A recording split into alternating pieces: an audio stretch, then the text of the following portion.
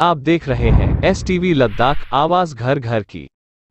तो जोजला के बंद होने से हमने सोचा कि यहाँ के लोगों की खैर खैरियत पूछे, गाँव गाँव जाके उनको कौन कौन से प्रॉब्लम्स हैं। तो कल हमने इस सिलसिले में एक मीटिंग भी की थी एस साहब की उस सरबराही में। तो इसमें हमने तमाम रूट जो हैं इस वक्त जो लिंक रोड जो है, उसको किस तरह साफ़ किया जाए और कैसे एक सिस्टम बनाया जाए उस सिलसिले में हमने कल एक मीटिंग रखी थी और, और मौके पे पूरा ये डिसाइड किया कि गोशन गाँव सबसे बड़ा गाँव है कि इसमें ज़्यादा रूट्स है इनर रूट्स बहुत हैं इसलिए सबसे पहले हम गोशन गाँव को लेने सफ़ाई करने के लिए। फ़िलहाल आज हमारी मशीनरी तो बंद है तो फिर भी हम खुद एस साहब और सारी टीम जो है मौके का जायज़ा लेने के लिए आ गए हैं कि इसमें कितने लिंक रोड से और कहाँ से शुरू करेंगे।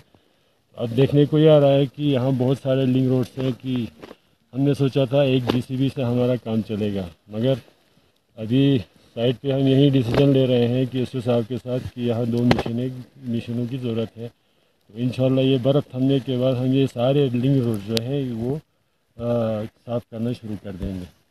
बाकी इस वक्त हमारी एस साहब की टीम और बाकी आगे आगे जहाँ जहाँ रोड लिंक रोड साफ़ करने की ज़रूरत है, उसका सारा मुआयना कर रहे हैं। तो इसके बाद हमारा अगला स्टेप होगा, दूसरे जो बड़े गाँव है रामोचन कल हमारा प्रोग्राम वहाँ होगा।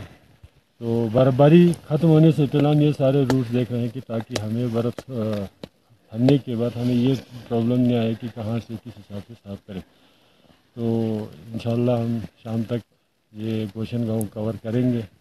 बाकी हमारे एस एच साहब बता देंगे कि जो आगे क्या स्टेप लेने हैं, ये बॉडी भी देख चुके हैं। तो खैर मुझे तो ये पहली बार नहीं है, मैं तो तीन साल से यहाँ काम कर रहा हूँ। हमारे इसके साहब नए हैं, इनको भी ये सारी जानकारी देना ज़रूरी है, इसने खुद आ जा के देखा और पिछले साल की नस्बत, इस साल हमें बहुत आराम हो रहा है, क्योंकि हमारे एस साहब खुद ऐसे खुश मिजाज आदमी ये हर जगह